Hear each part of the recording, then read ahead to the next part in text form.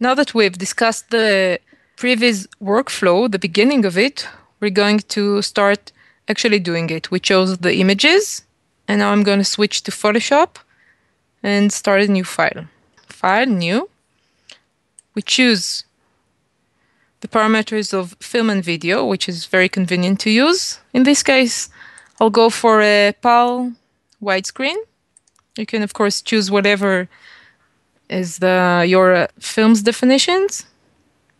Okay. I'm going to zoom out a little to see the whole, my whole canvas, and my whole frame. And as you can see, it already comes with borders. And now I'm going to open the image I'm going to use, which is a man, a woman, who, as you see, are in different images, and the kitchen. Let's open it all up. And I will just very quickly and very easily cut. I'm, I only need the women from the waist up. I'm going to show uh, her looking at a guy that stands with his back to the camera.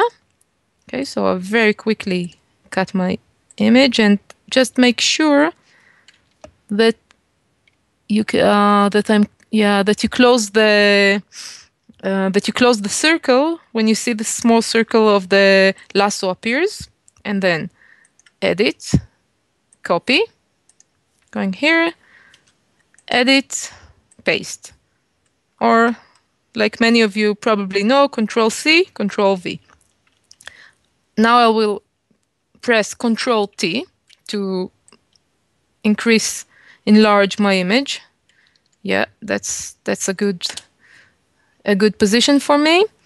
I will do the same thing with the guy. Now it's it's rather clear.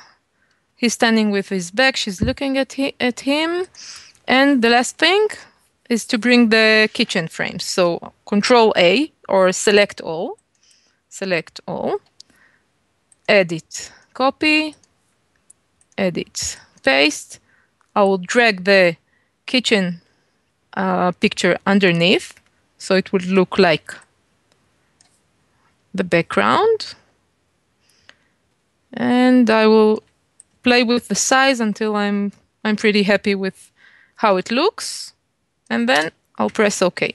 You can name your layers. If you have several layers, it will be make your job easier. So I call them kitchen, woman, and men and I can uh, if the background is a little too noisy for my taste, I will just down decrease the opacity. Yeah, and now it's clear where it happens, and also uh, that this is the background and is not as important as the figures in the foreground. And I will go to SketchUp Pro or SketchUp. You can download it for free, the basic version and I will go for File, 3D Warehouse, Get Models. I have a huge amount of free models I can use, and I will write down toaster. Okay, you see I, I have a variety of toaster I can choose from. This one is fine for me. I can also check it out, see if it's appropriate for what I need by pressing 3D view and just turning this around. Is this fine? Yeah, it's fine. Download model. It asks me if to load it directly to Google SketchUp, and I say yes. Waiting for it to upload or download.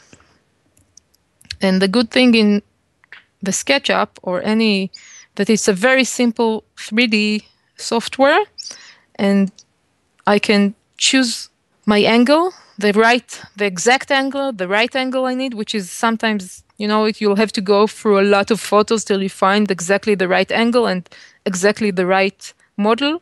Uh, so the Google SketchUp really makes our job easier in that sense. And I can turn this around by pressing the middle button in the mouse. And I can uh, bring it closer or making it go uh, distant by rolling the mouse roller. Yeah, this is a good version. And now I will just export it as a 2D graphic.